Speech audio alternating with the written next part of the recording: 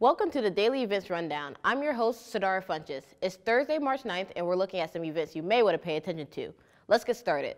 Starting at noon, the Financial Literacy Committee and Career Development Center are hosting part three of the Scholarship Savvy series, this time focusing on resumes and letters of recommendation. This event will take place in the Moton Lounge until 1.30 p.m.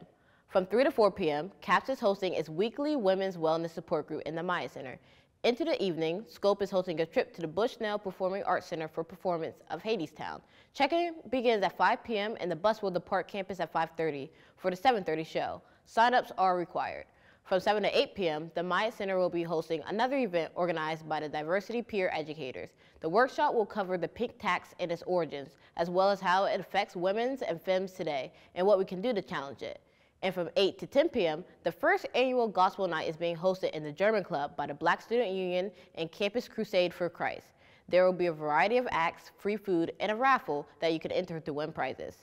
That's all for today. Don't forget to check out the newest edition of the Horseshoe Magazine at horseshoemagazine.com. Thank you for joining us on today's Daily Rundown events. I'm Sadara. We'll see you tomorrow.